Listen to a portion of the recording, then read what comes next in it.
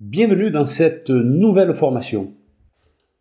Comment consolider plusieurs tableaux dans un seul? Cela est tout à fait possible avec l'imbrication de deux fonctions, fonction indirecte et fonction ligne. À partir de trois onglets, onglets janvier, février et mars, récapitulant les ventes de trois commerciaux, je souhaiterais dans un seul euh, tableau récapituler tous les chiffres d'affaires des trois commerciaux. J'ai par exemple ici pour Lucie, pour le mois de mars, aucun chiffre d'affaires. Si bien sûr, je vais sur l'onglet du mois de mars, concernant Lucie, si je mets par exemple un chiffre d'affaires de 20 000, je vais aller dans Récap, et ici, automatiquement, la consolidation s'est faite avec, bien sûr, l'implication de deux fonctions indirectes et ligne. Je vous donnerai bien sûr une définition exacte euh, de la fonction indirecte et la fonction ligne, et je vous donnerai aussi quelques exemples afin de mieux comprendre et mieux appréhender ces deux fonctions. Je vous invite donc à rester jusqu'au bout de cette formation afin de maîtriser au mieux les deux fonctions indirecte et ligne et comment consolider des données dans un seul tableau. La fonction indirecte permet d'interpréter une chaîne de caractères en tant que référence d'une cellule. Dans la fonction indirecte, la référence de la cellule doit être entre guillemets. Alors je vais bien sûr, afin de mieux comprendre cette définition, vous donner deux exemples. Imaginons qu'ici, dans la cellule C13, j'ai le chiffre 75 et je souhaiterais renvoyer cette donnée dans la cellule E14 eh bien je pourrais tout simplement faire une liaison en faisant égal le contenu de cette cellule. Je fais entrer. Bien sûr, cela fonctionne. Mais je pourrais aussi m'aider de la fonction indirecte.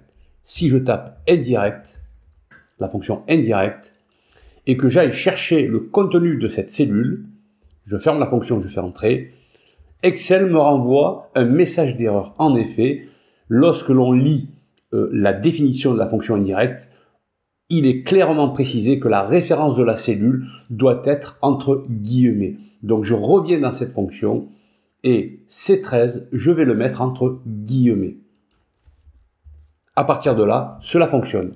Donc nous pourrions faire la même chose pour des données alphabétiques. Donc si je fais égal le contenu de la cellule C14, où il y a le prénom Edwige, cela fonctionne aussi, et si je passe par la fonction indirecte et que je fasse la même erreur que tout à l'heure avec le chiffre 75, Excel me renvoie un message d'erreur. En effet, je dois représenter la cellule entre guillemets.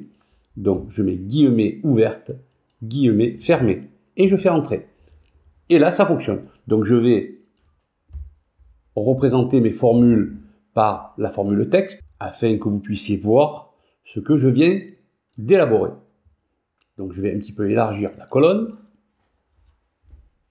Bien sûr, euh, ces exemples ne sont pas représentatifs de la puissance de la fonction indirecte. Nous le verrons euh, a posteriori avec bien sûr le travail de consolidation que nous ferons ultérieurement. À présent, à quoi sert la fonction ligne? La fonction ligne renvoie le numéro de ligne d'une référence. La fonction colonne renvoie son numéro de colonne. Alors, je vais vous donner aussi un exemple. Hein. Ici, par exemple, si je souhaite connaître l'adresse de la ligne euh, euh, de la cellule C13, il suffit de taper égale ligne. Je vais chercher le contenu de la cellule C13 et Excel me dit que ce contenu est à la 13e ligne. En effet, si je vais dans la ligne, si je pars de 1, j'ai bien 13 lignes. Je pourrais bien sûr faire je n'en aurai pas besoin dans euh, mon élaboration de consolidation, mais je vais vous expliquer à quoi sert la fonction colonne. Hein. Si je veux connaître le numéro de colonne de la donnée euh, qui se trouve dans la cellule C13, il suffit de taper égal colonne, colonne.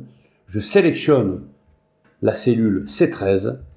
Excel me dit que le contenu se trouve dans la troisième colonne. En effet, si je prends la colonne A, B et C, j'ai bien la donnée 75 dans la troisième colonne. Je vous propose à présent d'élaborer le travail de consolidation hein, qui est euh, dans euh, l'onglet récap, la consolidation se fera sur trois autres onglets, janvier, février et mars, récapitulant des chiffres d'affaires de plusieurs commerciaux.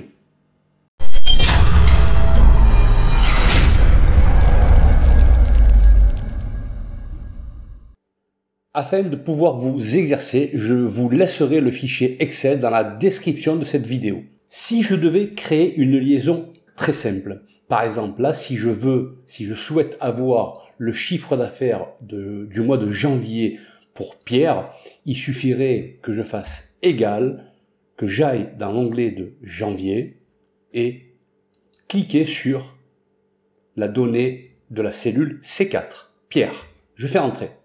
Donc là, j'ai bien sûr euh, la donnée euh, qui a été rapatriée dans euh, le tableau de consolidation.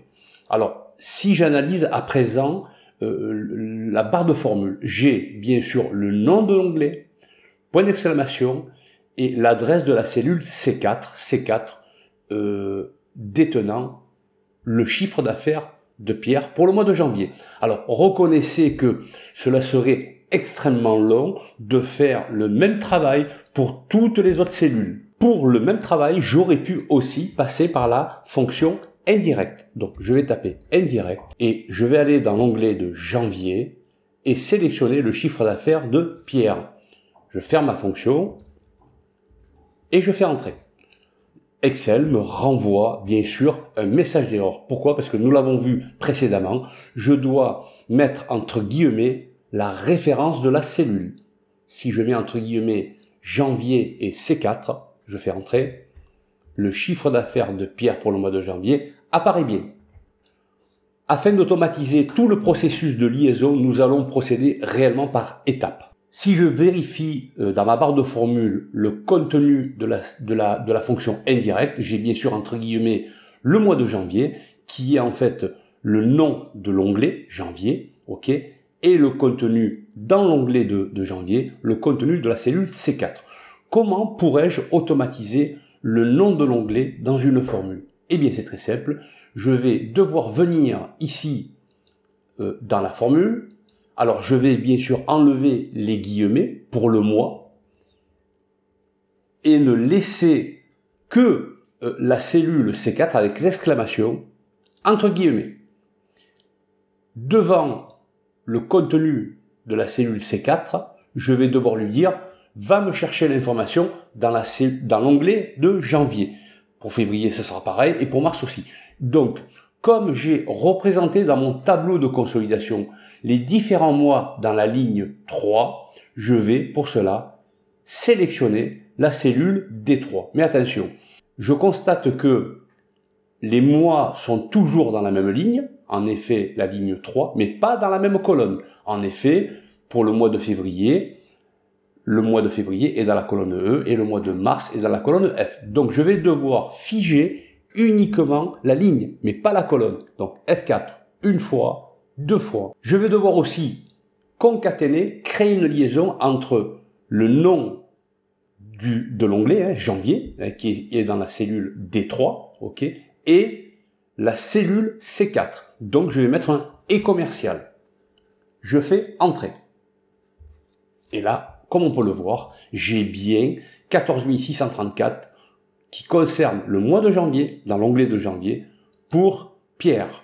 Donc si je reviens dans Récap et que je fasse un copier-coller pour février et mars, je vais nous-mêmes vérifier le contenu euh, euh, de l'onglet février et mars euh, pour Pierre. Si je, donc là j'ai 16 317 en février, j'ai bien 16 317 en mars j'ai 19 475. Si je vais dans l'onglet récap, j'ai bien 19 475. Si à présent, pour le mois de janvier, je fais un copier-coller de haut en bas, c'est ce que je vais faire d'ailleurs, j'ai toujours la même donnée. Pourquoi? Parce que, que ce soit aussi bien pour Pierre, pour Paul, Jacques Lucie, je fais toujours appel, comme on peut le voir dans la formule, à la ligne 4. Or, la ligne 4 ne concerne que les chiffres d'affaires de Pierre. Donc, au lieu de mettre la ligne 4, je vais devoir transformer ce numéro de ligne en une donnée variable. Alors, avec quel euh, type de fonction je vais pouvoir transformer cette ligne 4 en données variables Eh bien, tout simplement avec la fonction ligne. Je ne garderai donc que la colonne C en référence de cellules concernées par la fonction indirecte. Donc, je vais mettre un guillemet après le C. Et ici, je vais mettre bien sûr un et commercial afin de concaténer la colonne et la fonction ligne. Donc je vais enlever bien sûr le 4 et le guillemet qui est ici et je vais mettre ligne. Je ouvre la parenthèse et je ferme la parenthèse. Je fais entrer. J'ai bien sûr toujours la bonne donnée, 14634. Et ici, si je fais un copier-coller, j'ai des chiffres totalement différents. Donc si je vérifie le chiffre d'affaires de Paul pour le mois de janvier, je vais aller vérifier, j'ai bien 11 437, 487. Pour Lucie, 17 328. Récap, j'ai bien 17 328. Donc je peux faire à présent un copier-coller pour toutes les autres cellules. Donc j'ai 17 270 au mois de mars pour Lucie, je vais vérifier cette donnée, j'ai bien 17 270. Si à présent je vérifie la construction de mon tableau de consolidation, je me rends compte que le tableau commence à la ligne 3. Si je vais sur janvier, les ventes, en tout cas concernant mes chiffres d'affaires et mon tableau, commencent aussi à la ligne 3. Pour février, j'ai la même chose, et pour mars, j'ai aussi la même chose. Si à présent, j'avais construit mon tableau non pas la ligne 3, mais par exemple, je fais insérer, j'insère une ligne à la ligne 4. Là, mes données ne sont plus cohérentes. Pourquoi? Parce qu'il y a un décalage d'une ligne. Donc je vais devoir revenir dans ma formule, et là, je vais mettre moins 1. Moins 1 pour rétablir le tir. Et si je fais un copier-coller, de haut en bas et de gauche à droite, à présent, mes données sont correctes. Par ce type de procédé, nous pourrions gagner un temps extrêmement précieux et non négligeable. Voilà, cette formation est à présent euh, terminée. Je vous remercie pour votre attention. Euh, n'hésitez pas à vous abonner et à cliquer sur la petite cloche afin de recevoir les dernières notifications. Quant à moi, je vous donne rendez-vous dans un prochain tutoriel.